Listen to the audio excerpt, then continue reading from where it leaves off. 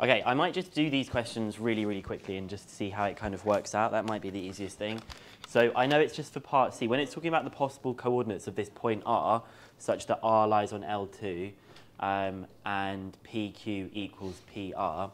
So let's just quickly sketch what we've got here. We've got two lines, L1 and L2, uh, different vector equations. P is the point with coordinates. Show that Q lies on L1, so Q is over here.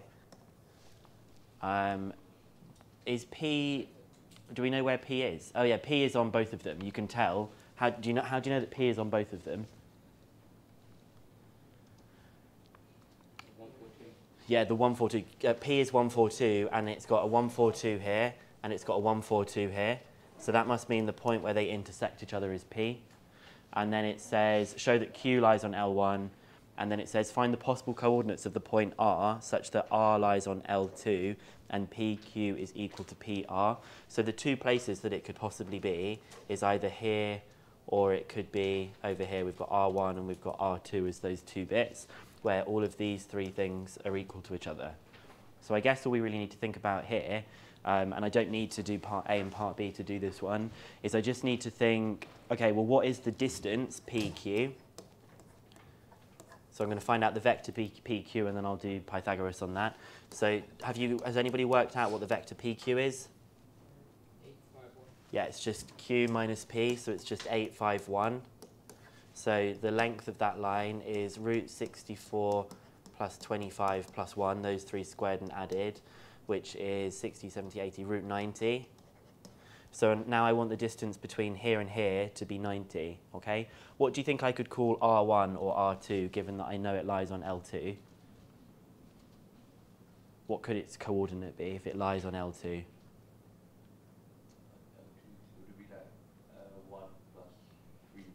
Yeah. So a general coordinate is combining this into a single thing. So you've got 1 plus 3 mu, 4 plus mu, and 2. Now, I want to find out the distance between P and R. I want it to be root 90. So to find the distance between P and R, I will find the vector PR by doing R minus P, which is this one minus P. What is this one minus P? P is 142. So it's just 3 mu, mu, 0. And I want the distance, PR, when I take the magnitude, I want it to be root 90. So when I do Pythagoras to this, you get the square root of 3 mu squared, sorry, 3 mu all squared, which is 9 mu squared. So you get 9 mu squared plus mu squared is equal to root 90. So when you square, square both sides, you get 10 mu squared is equal to 90 mu squared is equal to 9, so mu is equal to plus or minus 3. This will be where mu is equal to 3. This will be where mu is equal to minus 3, or either way around, because it's just the sketch that we've got. So that's just the last stage that you needed for that one. Okay? Question 12 was one that you also had asked about as well. I'm actually not going to do question 12. I'm just going to talk to you about what it says here about something being coplanar. Do you know what coplanar means? Coplanar, coplanar means they are on the same plane, so we need to show that they're not on the same plane as each other. Um, any ideas? If you've got one, two, three, four points, let's imagine that they are on the same plane, A, B, C, and D. Any ideas of how we might be able to show that they're on the same plane, Ishak? Yeah, um, it wouldn't necessarily be a different z coordinate uh, because that would be imagining that they were on like a horizontal kind of plane. So how else do you think we might be able to show that things are not on the same plane? Uh, like the- Good. You could actually find out the equation of the plane with these three, and then if you substitute that coordinate into the equation of the plane, if it is going to make that equation true, then it is on the plane. If it is not, then it's hovering somewhere else that is not on the plane. So if something is coplanar,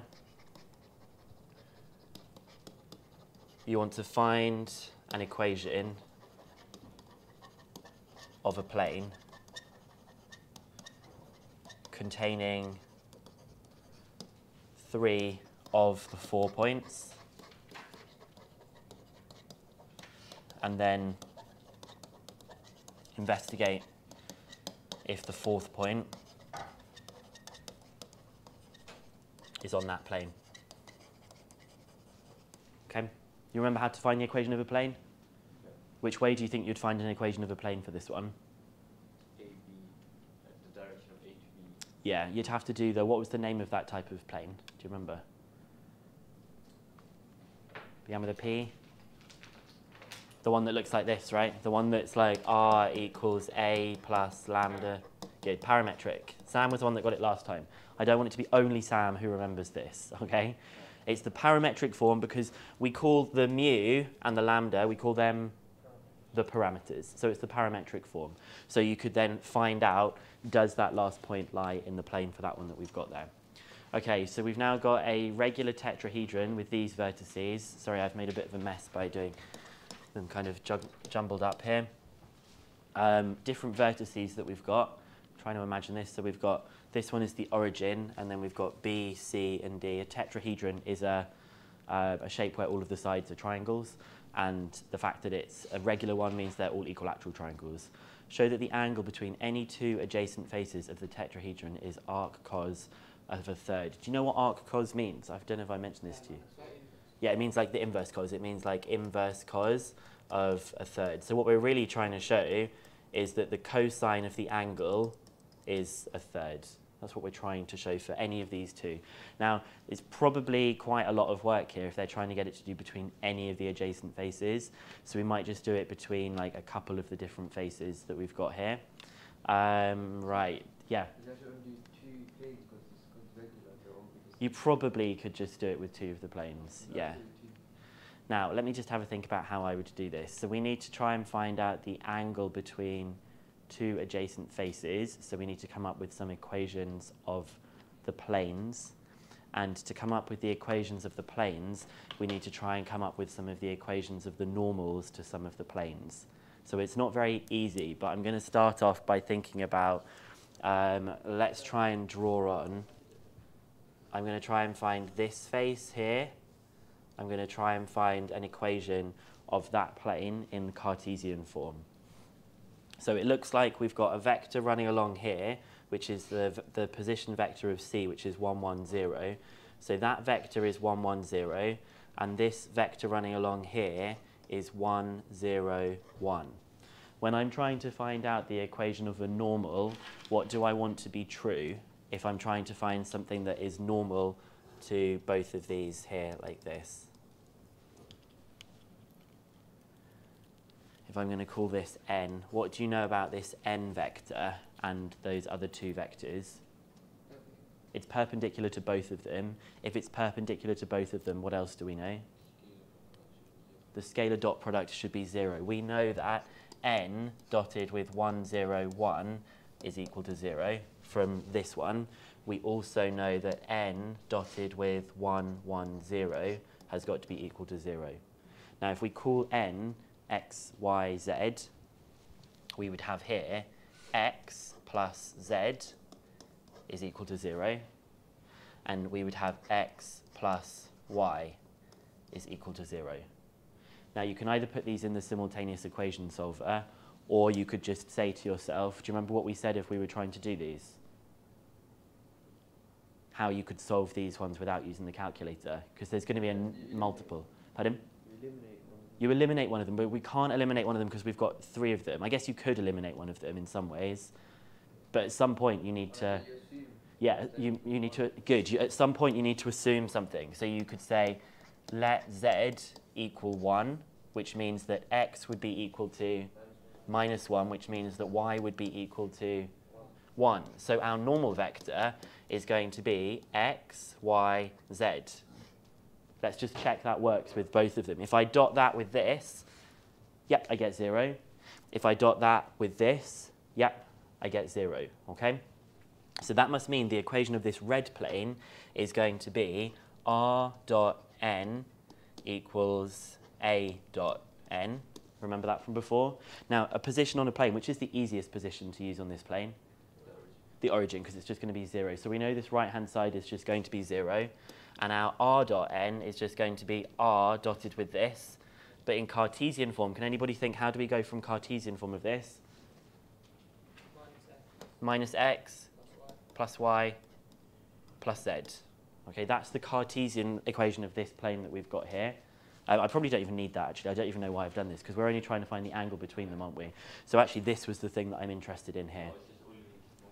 Yeah, so now what I need to do is think about doing that again, and this time I'm going to do it with this plane here and here, and I'm going to have, I can't really draw it on the board, but some kind of vector that's coming off from both of them, which I'm going to call, well, I've already called that one n, I probably should have called it n1.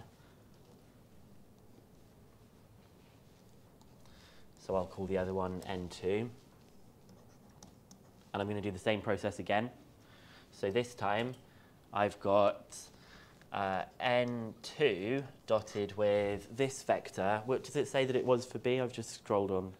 Is it 110? Zero, one, one. 0, 1, 1. 0, 1, 1. That is equal to 0. And we also know that it's going to be the other one again that we've just used here, which is the 101. So this one tells me that y plus z is equal to 0. And this one tells me that x plus z is equal to 0. So if we let z equal 1, x is equal to, and y is equal to, so that must mean that n2 is equal to minus 1, minus 1, 1. So what I'm really trying to do, I didn't need to find that Cartesian. If I'm trying to find out the angle between those two planes, what do we use to find the angle between two planes? Cosine of the angle between the two planes is equal to, Um, N1 dot N2 over the modulus of N1 1 by And you get modulus the whole thing. And And, if- uh, it's not going to be a, it's going to be an acute. huh? It's going to be um, it's going to be acute anyway, but that's fine. So when we actually then put this all in here, n1 dotted with n2, so it's this one dotted with this one, well, minus 1, 1, 1 dotted with, hang on a second, where's n2 gone? It's an one Here, this one here, minus 1, minus 1, 1, all over the modulus of this times the modulus of this. What's the modulus of one of them? Root 3, so it's root 3 times root 3. So we get 1 minus 1 plus 1, which is 1 over 3. So you get that cosine of theta is a third. So theta is arc cos a third. So it's pulling together lots and lots of different ideas that we've got here. Um, and did you notice me when I started this question that I didn't just go, you just do this? Did you see me kind of like hesitating a bit and being like, oh, probably should have looked at this before the lesson started. So if you see me hesitating before something, then obviously this is something that you need to stop and think. It's not just something that I'm saying you should just know how to do this. It's one where you should pause and you should say to yourself, what am I looking for? How am I going to find this thing that I'm actually looking for that we've got here, okay? Any questions on what we did on that and why we did any of that stuff? No? So I suppose what I should have thought, if I'm trying to find the angle between two planes, I need the normals. If I need the normals, actually this question completely breaks down. Stop thinking of it as a shape and just start thinking of it as two planes and just find the equation of a normal to a plane, the equation of another normal to a plane, and then we go from there. Okay? Um, so I think I might not do all of question 14, but we might just talk about the idea of it. So it says a flagpole is supported by three guide ropes which are attached at a point 20 metres above the base of the pole. The ends of the ropes are secured at points with position vectors, blah, blah, blah, blah, blah, um, relative to the base of the pole, where the units are metres. The flagpole will be stable if the angles between the adjacent guide ropes are all greater than 15. Determine whether the flagpole will be stable, showing your working clearly. Okay, so we've got a pole here, and at the bottom of the pole, it's implying that that is the origin, because it says that these three position vectors here, it says they're relative to the base of the pole. And the guide ropes are attached at a point 20 meters above the base of the pole. So this distance between here and here is 20.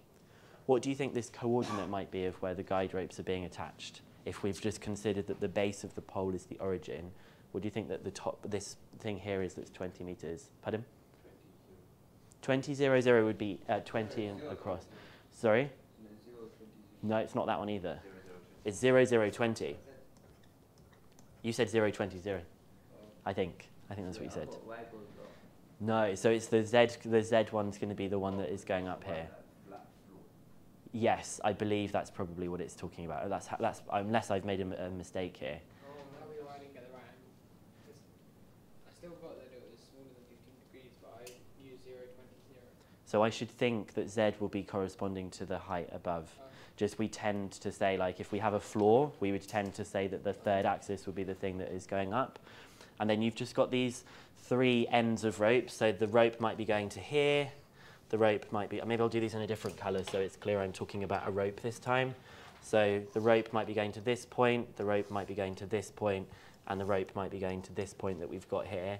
This one is 12 minus 5, 3. This one is minus 2, 6, 5. Whoops, I've missed one out, which is 0, 8, 2. Now, what do you think that this is actually trying to ask us to think about doing if we're trying to find the angles between the adjacent ropes? What am I, what's, what, what's the, the vector thing it's asking me to do? Find the angle between what? The angle between lines, okay? So it's the angle between lines. so all I need to do is find out what is this vector, what is this vector, and what is this vector here. You could call them, because they're different directions, you could call this direction 1, direction 2, direction 3, and all you need to do is find out the angles between those, those different directions and show that all of them are 15. So you need to do D1 with D2, D1 with D3, and D2 with D3. So there's three of them, and show that all of them have an angle of less than 15. Just very quickly, how would I find out the vector D3? Or can you tell me what the vector D3 is, just off the top of your head? Um, zero, eight minus Good, 0, 8 minus 18. I might as well actually just do this last part. 0, 8 minus 18. Uh, D2 is going to be minus 2, 6, minus 15. And D1 is 12 minus 5 minus 17. They've all just had 20 subtracted from those components. And then you would use what formula to find out the angle between these things? The dots of the, of the, of the D vectors over the modulus. So when does it change? When is it not cos theta? When it's a line in a plane, you use sine theta. And what do you have to do when it's a, if it's the line in the plane? You have to use modulus around it just to make sure you get the right kind of angle that it is that we've got there. Okay? Great. Does that help?